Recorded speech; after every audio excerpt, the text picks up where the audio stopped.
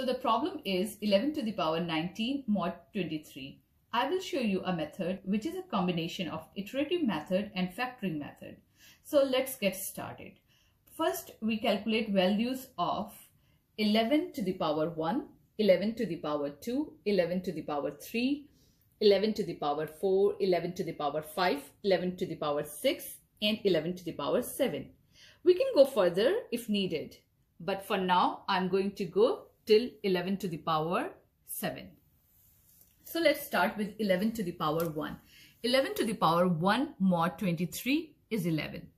11 to the power 2 mod 23 is 121 mod 23 which is 6. 11 cube mod 23 is the combination of 11 times 11 square mod 23. We already calculated the value of 11 to the power 1 mod 23 which is 11 and 11 square mod 23 which is 6. So we'll take the value 11 from here and 6 from here. 11 times 6 is 66 and we'll calculate 66 mod 23 which is 20. Alright, now we'll calculate 11 to the power 4 mod 23 which is again a combination of 11 square times 11 square mod 23. 11 square we already calculated as 6 here. So 6 times 6 mod 23 is 36 mod 23 which is 13. Now 11 to the power 5 mod 23 is a combination of 11 square times 11 cube mod 23. 11 square is 6 we already calculated here and 11 cube we calculated here here 20.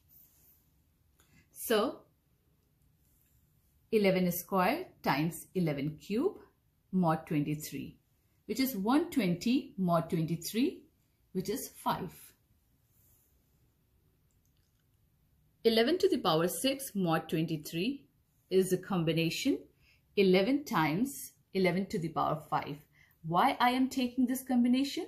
You can see 11 to the power 1 mod 23 is 11 and 11 to the power 5 is 5 which is a small number as compared to 13 and 20. That is why I'm taking the combination of 11 to the power 1 times 11 to the power 5 mod 23. The multiplication of 11 times 5 is 55. 55 mod 23 is 9. Now 11 to the power 7 mod 23.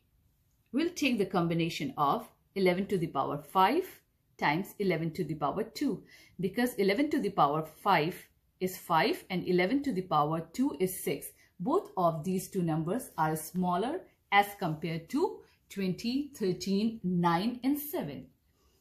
So the multiplication of 5 and 6 is 30. 30 mod 23 is 7. Let's look at the problem 11 to the power 19. That can be written as 11 to the power 7 square times 11 to the power 5 mod 23. We can also use other combination like 11 to the power 8 square times 11 to the power 3 mod 23. But for this you have to calculate 11 to the power 8 and you have to calculate one more step. So that's why I'm not going to use this combination. I'm going to use the combination 11 to the power 7 square times 11 to the power 5. Why I'm using this combination? As you can calculate here, 11 to the power 7 7 times 2 is 14. 14 plus 5 is 19. Picking small numbers makes our multiplication easier. Now let's look at the value of 11 to the power 7 which we already calculated. Here 7 and 11 to the power 5 which we already calculated here as 5. Now substitute these two values 7 square is 49 times 5 which is 245.